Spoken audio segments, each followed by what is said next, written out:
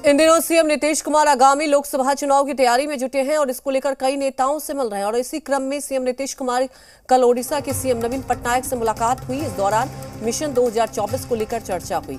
इस मुलाकात पर बीजेपी ने तंज कसा और बीजेपी प्रदेश अध्यक्ष सम्राट चौधरी ने चुटकी लेते हुए कहा कि सीएम मज़ाक करने जाते हैं। यहाँ से वो कहकर जाते हैं कि विरोधी को एकजुट करेंगे और वहाँ जाकर भूल जाते हैं और बिहार के लोगों को झूठ बोलना सिखा रहे हैं। वहीं आपको बता दें कि 11 मई को सीएम मुंबई जा रहे हैं, जहाँ एनसीपी नेता शरद पवार उद्धव ठाकरे से मिलेंगे। इसको लेकर भी बीजेपी ने तंज कसा है।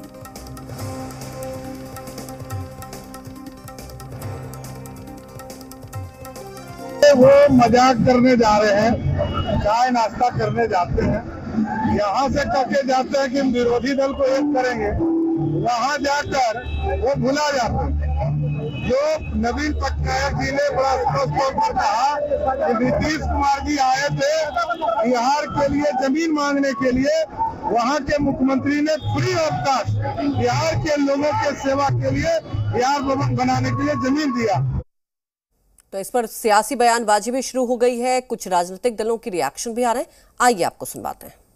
पक्षी एकजुटता का नाम सुनते ही भाजपा के नेताओं के पेट में दर्द होना शुरू हो जाता है। एक तरफ़ तो ये लोग दावा करते हैं कि इन्हें अपने संगठन, अपने चेहरे, अपनी कार्यप्रणाली पर इतना भरोसा है। लेकिन जैसे ही नीतीश कुमार जी की मुलाकात विपक्ष के प्रोमिनेंट नेताओं से होती है, इन लोगों की बेचैनी बढ़ जाती है। खैर, इनका कितना भी कलेजा फटे।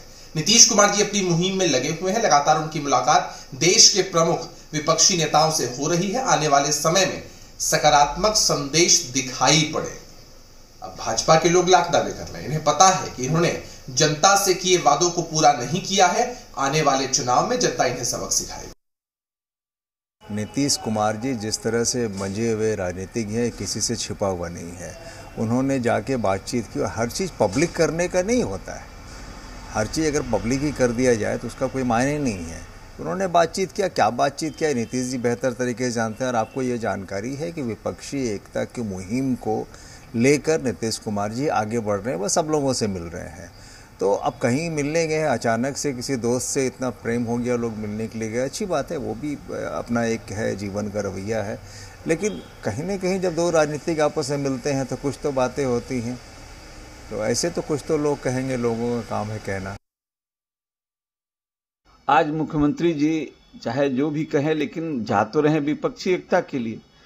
और जिनसे भी वो मिल रहे हैं, लेकिन सबसे एक बात समझने की है कि माननीय मुख्यमंत्री जी ये क्यों नहीं कह रहे हैं कि हम जो है विपक्षी एकता करने के लिए जा रहे हैं। तो इससे यदि हम इस बात को अपने तरह से सोचते हैं तो लगता है कि उन्हें कहीं न कहीं इस विपक्षी एकता पर संदेह है। और इसी संदेह के कारण वो खुल के इस बात को आम लोगों के सामने नहीं रख रहे हैं। माननीय मुख्यमंत्री नीतीश कुमार जी, उड़ीसा गए। उड़ीसा में वो अपने सिपा सलारों के साथ गए। लेकिन वहाँ पर नवीन पटनायक जी ने जिस तर्ज पर राजनीतिक चर्चा से सीधा तौर पर मना कर दिया, और वो ये बतलाता है कि कहीं ना कहीं नीतीश कुमार जी की विपक्षी एकता को जो मज़बूत करने का का मुहिम है, उसको बहुत बड़ा झटका लगा है। इस अभियान में में नवीन पटनायक जी ने एक तरीके से ब्रेक लगा दिया है। खैर, नीतीश कुमार जी कल ये बोलते हुए, बचते हुए नज़र आए कि ये मित्र हैं और मित्र के नाते उनसे नवीन पटनायक जी से वो मिलने आए हैं। लेकिन नवीन पटनायक जी ने साफ़ कर दिया कि वो फ़िलहाल किसी भी ऐसे गठबंधन के साथ नहीं है, जिसको मज़बूत करने की कवायद में नीतीश कुमार जी लगे हुए हैं।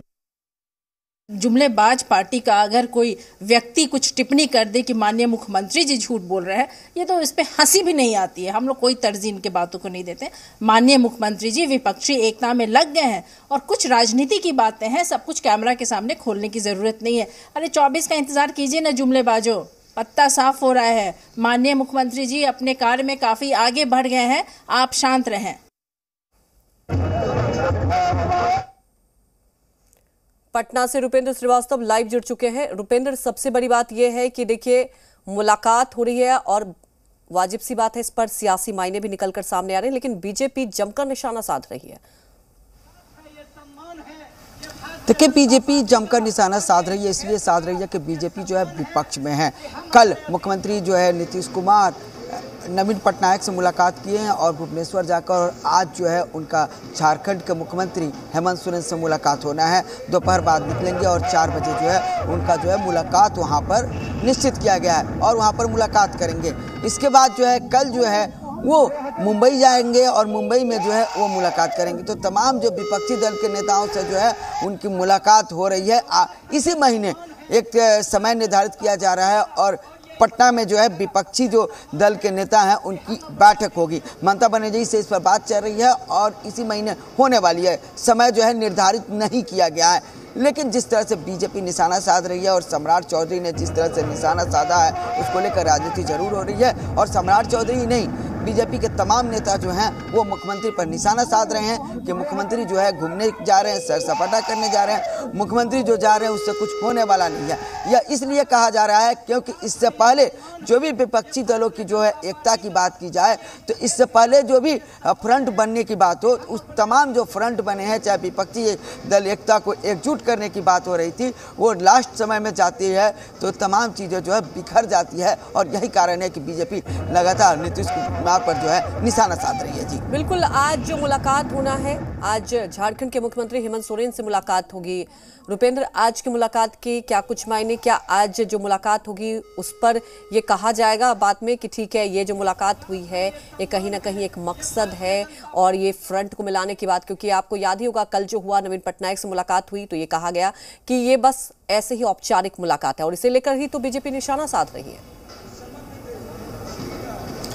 देखिए नवीन पटनायक ने अपने बयान से ही सारी चीज़ों को बता दिया था और उन्होंने साफ़ तौर पर कह दिया था कि वैसी चीज़ें नहीं हुई है और जिस तरह से कल मुलाकात हुई मुख्यमंत्री ने अपने बयान को दिए लेकिन आज की मुलाकात की जाए तो आज की मुलाकात खास इसलिए हो सकती है क्योंकि जो है लालू यादव के जो है हेमंत सोरेन से जो है और उनके पिता जो है शिबू सोरेन से बहुत अच्छी बनती है मुख्यमंत्री नीतीश कुमार की बहुत अच्छी बनती है और विपक्षी जो दल की एकजुटता करने का मामला है उसमें जो है हेमंत सोरेन आगे हैं वो साथ दे रहे हैं तो ये मुलाकात जो है सकारात्मक मुलाकात होगी। लेकिन कल जो मुलाकात हुई है वो साफ़ तौर पर जिस तरह से नवीन पटनायक ने बयान दिया और उनके बयान के बाद जो है बीजेपी को मौका मिल गया और बीजेपी लगातार जो है अब नीतीश कुमार पर जो है निशाना साध रही है और महागठबंधन की तमाम दलों पर जो है निशाना साध रही है।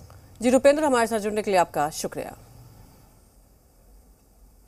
तो आपको बता दें कि मुलाकातों का दौर जारी है और लगातार बीजेपी से लेकर निशाना साध रही है। और सबसे बड़ी बात यह है कि आज जो मुलाकात होनी है झारखंड के मुख्यमंत्री हेमंत सोरेन से मुलाकात होगी। अब इस मुलाकात के बाद क्या कुछ निकल कर आ, सामने आता है ये तो वक्त ही बताएगा लेकिन आपको बता दें कि लगातार मुख्यमंत्री नीतीश कुमार एक तरफ़ विपक्ष को एकजुट करने की कवायद में जुटे हुए